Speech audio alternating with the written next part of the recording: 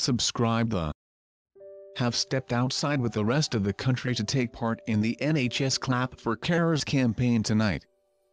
37, 38, and their children, 6, 4, and their younger brother, who turned 2 today, stood in front of their wooden door to applaud all the hard work doctors, key workers and carers are doing to save lives and keep the country going amid the coronavirus pandemic.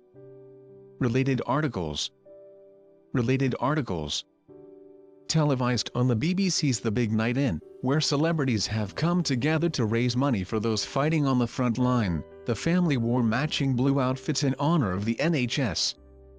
While Kate and her daughter wore stunning blue dresses, Prince William donned a blue jumper, George looked smart in a check blue shirt and Louis was his adorable self in a navy jumper.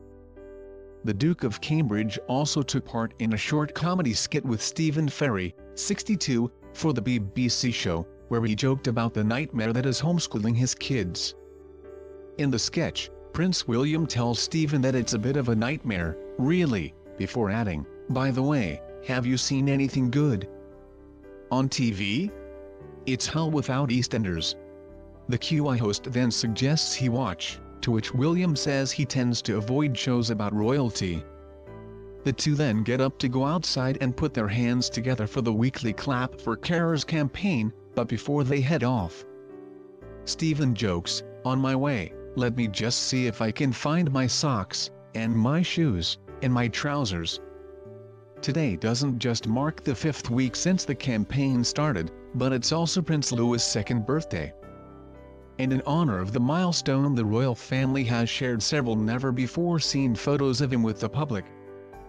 Beating everyone to the punch, Kate first shared four photos of him, that she took herself, on the Kensington Palace Twitter account yesterday, on April 22.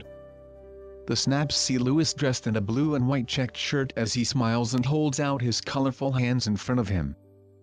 Kate and William, who recently captioned it, sharing a sneak peek of Prince Louis's handiwork ahead of his second birthday.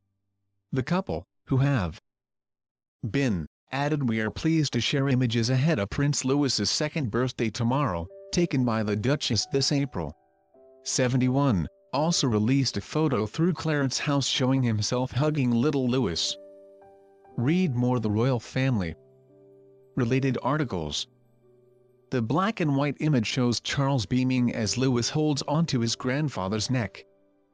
Alongside the image, a message read, A very happy birthday to Prince Louis, who turns two today. The young prince enjoys a hug from his grandfather, the Prince of Wales. It is believed the photograph was taken at an informal family gathering. As Charles is seen wearing a short-sleeved shirt in the garden,